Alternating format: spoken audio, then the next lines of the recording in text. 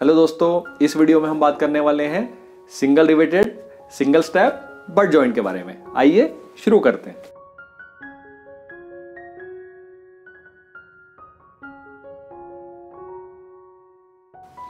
सबसे पहले हम एक single repeated single step, butt joint बनाएँगे। उसके लिए क्या करना पड़ेगा? बट जॉइंट मतलब ये हमारा हो गया बट जॉइंट। अब उसके बाद हमारा है सिंगल स्टेप ये हमारा जो सिंगल स्टेप हो गया, ये हमने इसमें रख दिया। और अब आता है, इसको हमें क्या करना है? सिंगल रिवेटेड तो सिंगल रिवेटेड का मतलब ये है कि ये प्लेट भी इससे जुड़ेगी, ये प्लेट भी इससे जुड़ेगी, तब ये सिंगल रिवेटेड कहलाएगा। तो ये तो हो गया हमारा इस प्लेट से। ये भी अभी पूरा नहीं बोलेंगे इसको सिंगल रिवेटेड क्योंकि केवल यही प्ले यही जो स्ट्रैप है इस प्लेट से जुड़ी हुई है। अब ये पूरी कहलाएगी देखिए। तो दोस्तों, ये हमारी single riveted single strap butt joint तैयार हो गया। ठीक है दोस्तों, अब इसको जो टेक्निकल टर्म्स हैं, वो हम बुक के माध्यम से समझ लेंगे। ये देखिए, यहाँ पर single riveted single strap butt joint है। इसमें आप देख सकते हैं, इसमें सिमिलर एक ये दो प्लेट है, जो बट जॉइंट में रखी हुई है। इसके ऊपर ये एक स्ट्रैप है। ठीक है दोस्तों? तो यहाँ से ये सिंगल रिवेटेड हो गया। देखा देखा आपने? और यहाँ से एक सिंगल स्ट्रैप हो गया।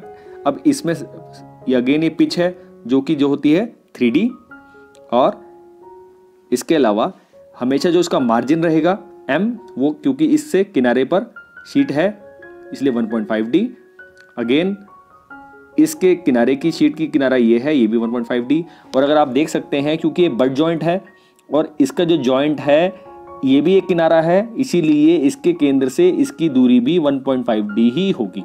इसको बहुत अच्छे से समझिएगा, हमेशा मार्जिन या 1.5 डी हमेशा कहाँ होता है? जहाँ पर भी किसी शीट शी, किसी शीट या प्लेट या स्ट्रैप की किनारी आती है वहाँ से जो रिवेट होगी उसकी जो डिस्टेंस होगी हमेशा 1.5 डी ही होगी। तो इसीलिए हमने जो ये ऊपर की जो स्ट्रैप थी उसकी ये किनारी से इस रिवेट के सेंटर की 1.5 डी हो गई।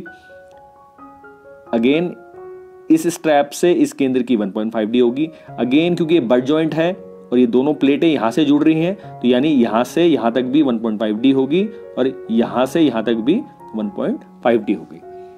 ये देखिए। अगेन मैं ऊपर रख रहा हूँ ताकि आप अच्छे से समझ जाए। ये देखिए। ये सिमिलर हुआ। जैसी नीचे फिगर थी बिल्कुल सेम हो रहा है।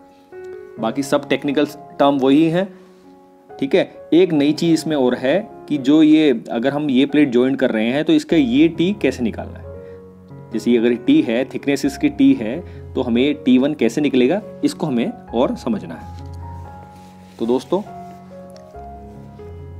इस तरह समझेंगे कि माना कि ये कोई दो प्लेट्स हैं, जिन जो बट जॉइंट के थ्रू हम इसको जोड़ने वाले हैं।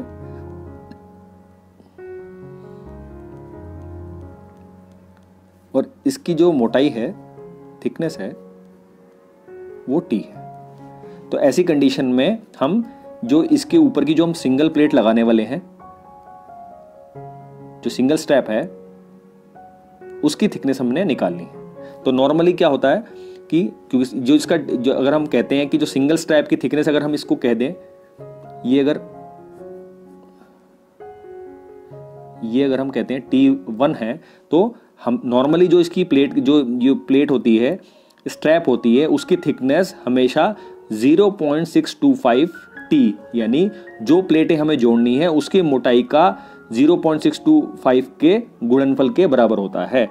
और अगर हमें ये टी समझना हो कहाँ से निकलना है तो हमारे पास पहले से एक फार्मूला है कि किसी भी प्लेट की थिकनेस अगर निकालनी है रिवेट की डाया को अगर हम छः से भाग करके उसका वर्ग कर दें तो वो उसकी प्लेट की थिकनेस निकल जाती है। इसको फार्मूले को आप ऐसे ज़्यादा अच्छे से पहचानेंगे, यानी कि किसी रिवेट की, जो डाया है, शैंक का व्यास है, वो निकालने के लिए सिक्स रूट टी होता है, यानी कि अगर ये पता है तो आप ये निकाल लेंगे, और अगर ये पता है तो आप ये निकाल लेंगे। यहाँ से हमें टी मिल जाएगा, और इस टी को हम इस फार्मूले में रखेंगे तो हमें जो ऊपर की प्लेट या ऊपर की स्ट्रैप है, उसकी मोटाई भी पता चल जाएगी। तो दोस्तों, देखा आपने, इस वीडियो में हमने अच्छे से सीखा, सिंगल रिवेटेड हमने सीखा single riveted single strap butt joint कैसे बनाया जाएगा। अब single riveted double strap butt joint की बात हम नेक्स्ट वीडियो में करेंगे।